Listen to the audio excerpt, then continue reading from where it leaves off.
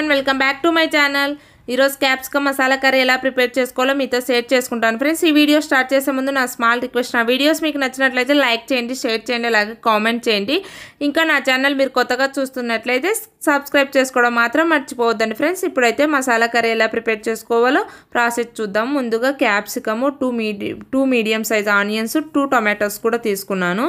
వీటిని బాగా వాష్ చేసి ఇప్పుడు కట్ చేసుకుందాం ఫ్రెండ్స్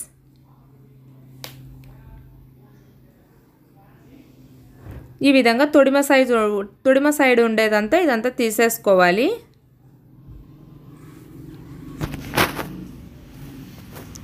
ఈ విధంగా తీసేసుకొని చిన్న చిన్న పీసెస్గా కట్ చేసుకోండి ఫ్రెండ్స్. ఈ సైజు ఉంటే మనకి క్యాప్సికమ్ ఉడికినప్పుడు స్మాష్ కాకోకుండా ఉంటాయి. మరీ చిన్న కట్ చేసుకుంటే మనకి గ్రేవీలో కలిసిపోతుంది ఫ్రెండ్స్. ఇవన్నీ కట్ చేసి పెట్టుకున్నాను. తర్వాత ఒక ప్యాన్ తీసుకొని వాటిలో టూ టేబుల్ స్పూన్ పల్లీలు యాడ్ చేస్తున్నాను. అలాగే వన్ టేబుల్ స్పూన్ ధనియాలు టూ టేబుల్ స్పూన్ తెల్ల నువ్వులు యాడ్ చేసి నెక్స్ట్ కొన్ని ఎండు కొబ్బరి ముక్కలు కూడా యాడ్ చేసుకొని లో ఫ్లేమ్లో పెట్టుకొని వేయించుకోవాలి ఇదంతా.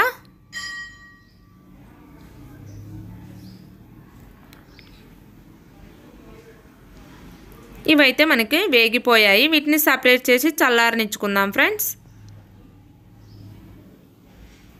నెక్స్ట్ నేను అదే ప్యాన్లో టూ టేబుల్ స్పూన్ ఆయిల్ తీసుకున్నాను. అది కొంచెం హీట్ ఎక్కిన తర్వాత పావు టీ స్పూన్ ఆవాలు అలాగే పావు టీ స్పూన్ జీలకర్ర అలాగే పావు టీ స్పూన్ పచ్చిశనగపప్పు అలాగే పావు టీ స్పూన్ ఉద్దిపప్పు కూడా యాడ్ చేసి కొంచెం వేయించుకోవాలి.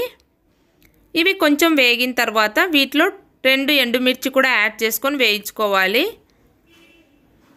ఇవి కొంచెం వేగిన తర్వాత నెక్స్ట్ మనం కట్ చేసిన ఆనియన్స్ కూడా వేసి వన్ మినిట్లో ఫ్లేమ్లో ఫ్రై చేసుకోవాలి.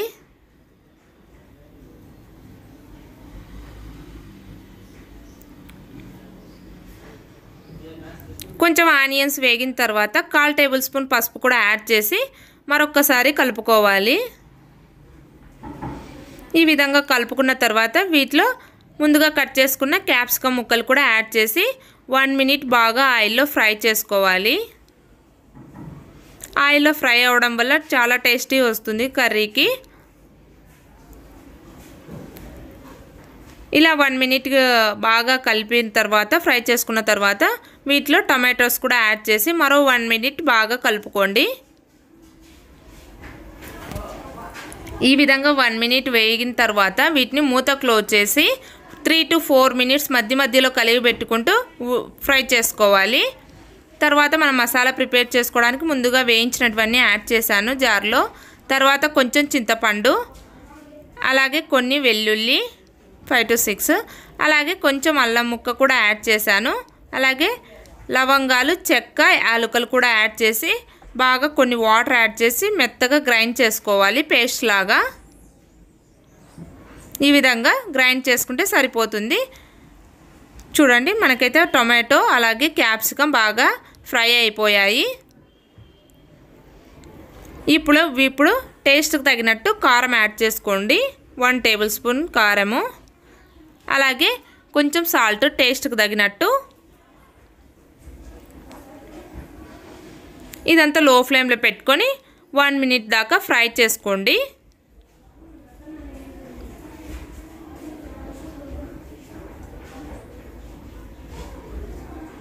ఈ విధంగా ఫ్రై అయిన వాటిలో ముందుగా మనం ప్రిపేర్ చేసుకున్న మసాలా పేస్ట్ అంతా వీటిలో యాడ్ చేసుకోవాలి. కొన్ని వాటర్ యాడ్ చేసుకొని మొత్తం జార్లోదంతా నీట్గా వేసుకోండి.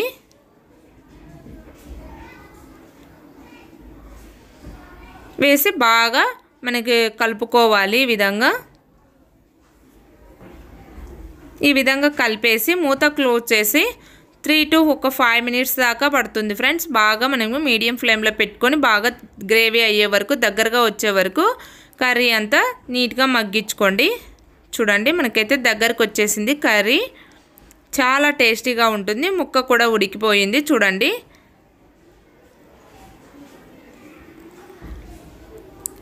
ఇప్పుడు వీటిలో కొత్తిమీర కూడా యాడ్ చేసుకోండి లాస్ట్లో. యాడ్ చేసుకొని అలాగే కొంచెం కరివేపాకు యాడ్ చేసుకొని మరొక్కసారి బాగా కలుపుకోండి. చూడండి మనకైతే ఎంత కలర్ఫుల్గా రెడీ అయిపోయిందో. చూస్తుంటేనే నోరు ఊరిపోతుంది కదా. మనకైతే క్యాప్సికమ్ మసాలా కర్రీ రెడీ అయిపోయింది. ఇది మనకి రైస్ లేకైనా చపాతీ లేకైనా చాలా బాగుంటుంది. ఒకసారి ట్రై చేయండి ఫ్రెండ్స్. చూడండి అంతే ఫ్రెండ్స్ ఈ వీడియో ఈ రెసిపీ మీకు ఎలా అనిపించిందో నాకు కామెంట్ సెక్షన్లో కామెంట్ పెట్టండి. అలాగే ఈ వీడియో నచ్చినట్లయితే లైక్ చేయండి షేర్ చేయండి అలాగే కామెంట్ చేయండి. ఇంకా కొత్తగా చూస్తున్న వాళ్ళైతే సబ్స్క్రైబ్ చేసుకోవడం మాత్రం మర్చిపోవద్దండి. Friends okay till then bye bye నేను నెక్స్ట్ వీడియోలో మీ ముందు ఉంటాను. Take care